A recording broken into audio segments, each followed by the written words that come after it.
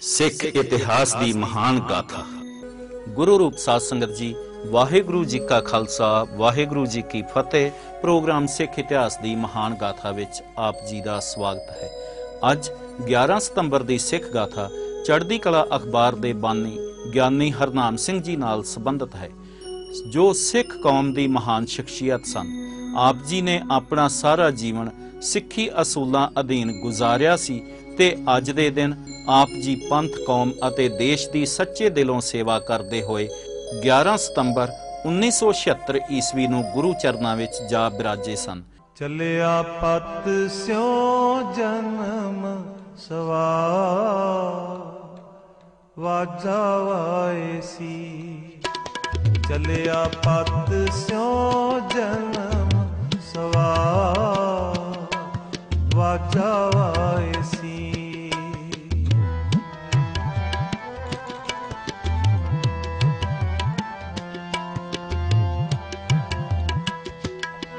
ਚਲਿਆ ਪਤ ਸਿਉ ਜਨਮ ਸਵਾਰ।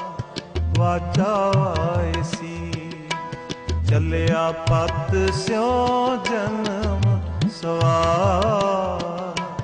ਵਾਜਾ ਵਾਏ ਸੀ।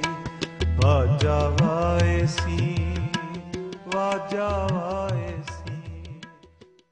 ਗਿਆਨੀ ਹਰਨਾਮ ਸਿੰਘ ਜੀ ਨੂੰ ਸੱਚੀ ਸ਼ਰਧਾਂਜਲੀ ਉਹੀ ਸ਼ਬਦ ਹਨ ਜੋ ਸਿੱਖ ਪੰਥ ਦੇ ਮਹਾਨ ਵਿਦਵਾਨ ਪ੍ਰਿੰਸੀਪਲ ਸਤਬੀਰ ਸਿੰਘ ਜੀ ਦੀ ਕਲਮ ਤੋਂ ਲਿਖੇ ਹੋਏ ਹਨ ਤੇ ਅੱਜ ਮੈਂ ਉਹ ਸ਼ਬਦ ਆਪ ਜੀ ਦੇ ਇਨ ਬਿਨ ਰੂਬਰੂ ਕਰ ਰਿਹਾ ਹਾਂ।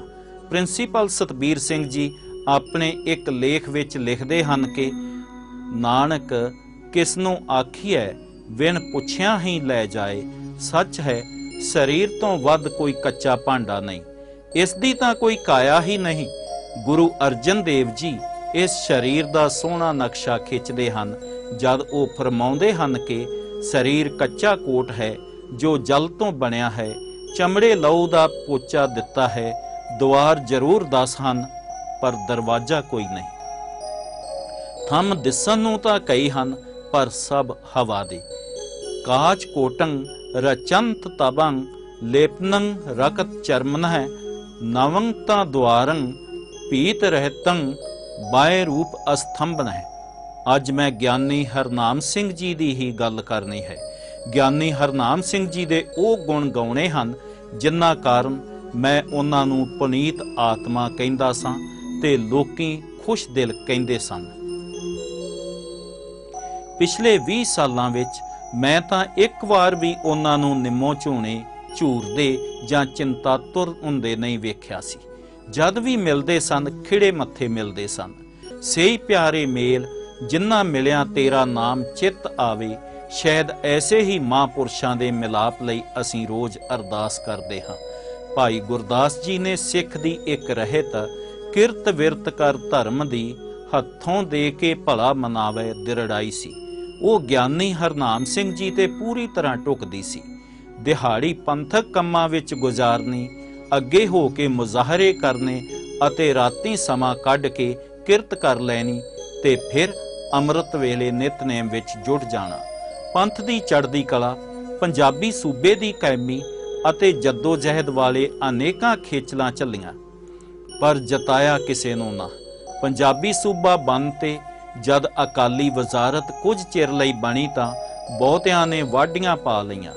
ਗਿਆਨੀ ਹਰਨਾਮ ਸਿੰਘ ਜੀ ਨੂੰ ਵੀ ਕਈਆਂ ਨੇ ਮੌਕੇ ਦਾ ਫਾਇਦਾ ਉਠਾਉਣ ਦਾ ਸੁਝਾਅ ਦਿੱਤਾ, ਪਰ ਉਹ ਇਹੀ ਕਹਿੰਦੇ ਰਹੇ ਕਿ ਘਾਲਾਂ ਕੋਈ ਮੱਲਾ ਮਾਰਨ ਲਈ ਨਹੀਂ ਘਾਲੀਆਂ, ਉਹ ਤਾਂ ਫਰਜ਼ ਦੀ ਪੁਕਾਰ ਸੀ, ਪੂਰੀ ਹੋ ਗਈ ਸਾਡੇ ਧੰਨ ਭਾਗ।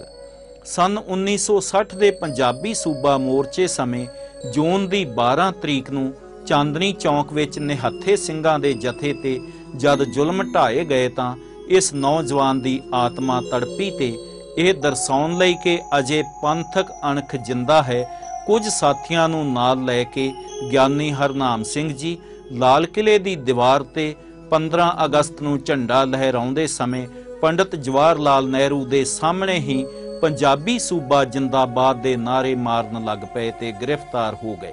ਕੁੱਟ-ਕੁੱਟ ਕੇ ਇੰਨੇ ਢਾਲ ਕਰ ਦਿੱਤੇ ਗਏ, ਪਰ ਗੱਲ ਨਾ ਗੋਲੀ। ਪੰਜਾਬੀ ਸੂਬਾ ਮੋਰਚੇ ਵਿੱਚ ਆਪਣੇ ਬੇਟੇ ਨੂੰ ਜੋ ਗੁਰੂ ਕਿਰਪਾ ਨਾਲ ਹੁਣ ਸਰਦਾਰ ਜਗਜੀਤ ਸਿੰਘ ਜੀ ਦਰਦੀ ਦੇ ਨਾਮ ਨਾਲ ਹਰਮਨ ਪਿਆਰੇ ਹੋਏ ਹਨ। ਸਿਰੇ ਸਜਾ ਵਿਦਿਆਰਥੀਆਂ ਦਾ ਜਥੇਦਾਰ ਬਣਾ ਭੇਜਿਆ। ਪਿੱਛੋਂ ਜਦ ਦਰਦੀ ਸਾਹਿਬ ਨੂੰ ਛੜਯੰਤਰਕਾਰੀਆਂ ਨੇ ਕਿਸੇ ਸਾਜ਼ਿਸ਼ ਦਾ ਸ਼ਿਕਾਰ ਬਣਾਉਣਾ ਚਾਹਿਆ ਤਾਂ ਆਪ ਇਹੀ ਉਪਦੇਸ਼ ਸੁਨੇਹਾ ਘੱਲਦੇ ਰਹੇ, ਡੋਲਣਾ ਨਹੀਂ, ਤੁਸੀਂ ਬਾਬਾ ਫਤਿਹ ਸਿੰਘ ਜੀ ਅਤੇ ਬਾਬਾ ਜੋਰਾਵਰ ਸਿੰਘ ਜੀ ਦੇ ਹਾਣੀ ਹੋ। ਜਦ ਕਦੀ ਕਿਸੇ ਵੇਲੇ ਵੀ ਕੋਈ ਪੰਥਕ ਵੰਗਾਰ ਗਿਆਨੀ ਹਰਨਾਮ ਸਿੰਘ ਜੀ ਦੇ ਕੰਨੀ ਪੈ ਜਾਂਦੀ ਸੀ, ਤਾਂ ਆਪ ਸਭ ਕੰਮ ਵਿੱਚੇ ਛੱਡ ਕੇ ਉੱਠ ਤੁਰਦੇ ਸਨ। ਇਹ ਪੁਰਾਤਨ ਸਿੰਘਾਂ ਵਾਲੀ ਕਰਨੀ ਉਹਨਾਂ ਵਿੱਚ ਸੀ। ਜੋ ਕਿਸੇ ਵੇਲੇ ਵੀ ਪੰਥਕ ਜਾਂ ਸਮਾਜਿਕ ਕੰਮ ਲਈ ਕਿਹਾ ਜਾਂਦਾ ਸੀ, ਤਾਂ ਆਪ ਉਸੇ ਵੇਲੇ ਉਸ ਵਿੱਚ ਜੁਟ ਜਾਂਦੇ ਸਨ। ਸਿੱਖ ਨੌਜਵਾਨਾਂ ਤੇ ਸਿੱਖ ਵਿਦਿਆਰਥੀਆਂ ਨਾਲ ਗਿਆਨੀ ਹਰਨਾਮ ਸਿੰਘ ਜੀ ਦਾ ਅਟੁੱਟ ਪਿਆਰ ਸੀ। ਸਿੱਖ ਸਟੂਡੈਂਟਸ ਫੈਡਰੇਸ਼ਨ ਦੇ ਮੈਂਬਰ ਹੋਣ ਨਾਤੇ ਉਹਨਾਂ ਨੂੰ ਗੁਰਮਤ ਕੈਂਪਾਂ ਵਿੱਚ ਲੰਗਰ ਦੀ ਸੇਵਾ ਕਰਦਿਆਂ ਦੇਖਦਾ ਤਾਂ ਸਿਰ ਝੁਕਦਾ ਸੀ। ਪੰਜਾਬ ਖਾਲਸਾ ਦਲ ਦੀ ਤਾਂ ਉਹ ਰੂਹੇ ਰਵਾਂ ਸਨ। ਅਖਬਾਰ ਚੜ੍ਹਦੀ ਕਲਾ ਮਾਰਗ ਦੇ ਉਹ ਮੁੱਖ ਸੰਪਾਦਕ ਸਨ। ਉਹਨਾਂ ਦੀ ਇਹ ਖਾਹਿਸ਼ ਸੀ ਕਿ ਇਹ ਅਖਬਾਰ ਪੰਥਕ ਵਿਚਾਰਾਂ ਦਾ ਸ਼ੀਸ਼ਾ ਬਣੇ। ਦਰਦੀ ਸਾਹਿਬ ਦੱਸਦੇ ਹਨ ਕਿ ਪਿਤਾ ਜੀ ਦੀਆਂ ਆਖਰੀ ਖਹਿਸ਼ਾਂ ਵਿੱਚੋਂ ਇੱਕ ਇਹ ਵੀ ਸੀ ਕਿ ਪੰਥਕ ਨਿਸ਼ਾਨਿਆਂ ਦੇ ਵਾਧੇ ਲਈ ਇਸ ਅਖਬਾਰ ਦਾ ਹਰ ਸਫਾ ਵਰਤਿਆ ਜਾਏ।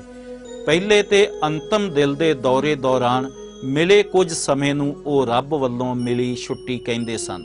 ਸਾਡੀ ਵਾਹਿਗੁਰੂ ਜੀ ਦੇ ਚਰਨਾਂ ਵਿੱਚ ਅਰਦਾਸ ਹੈ ਕਿ ਵਾਹਿਗੁਰੂ ਜੀ ਉਸ ਪੁਨੀਤ ਆਤਮਾ ਨੂੰ ਆਪਣੇ ਚਰਨਾਂ ਵਿੱਚ ਜੋੜੀ ਰੱਖਣ ਅਤੇ ਗਿਆਨੀ ਹਰਨਾਮ ਸਿੰਘ ਜੀ ਵੱਲੋਂ ਸ਼ੁਰੂ ਕੀਤੇ ਅਦਾਰਿਆਂ, ਜਿਵੇਂ ਚੜ੍ਹਦੀ ਕਲਾ ਟਾਈਮ ਟੀਵੀ, ਰੋਜ਼ਾਨਾ ਚੜ੍ਹਦੀ ਕਲਾ ਅਖਬਾਰ ਚੜ੍ਹਦੀ ਕਲਾ ਮਾਸਿਕ ਮੈਗਜ਼ੀਨ ਅਤੇ ਗੁਰੂ ਹਰਕ੍ਰਿਸ਼ਨ ਸਕੂਲਾਂ ਤੇ ਕਾਲਜਾਂ ਨੂੰ ਚੜ੍ਹਦੀਆਂ ਕਲਾ ਬਖਸ਼ਣ। ਅੱਜ ਸਿਰਫ ਐਨਾ ਹੀ। ਵਾਹਿਗੁਰੂ ਜੀ ਕਾ ਖਾਲਸਾ, ਵਾਹਿਗੁਰੂ ਜੀ ਕੀ ਫਤਿਹ।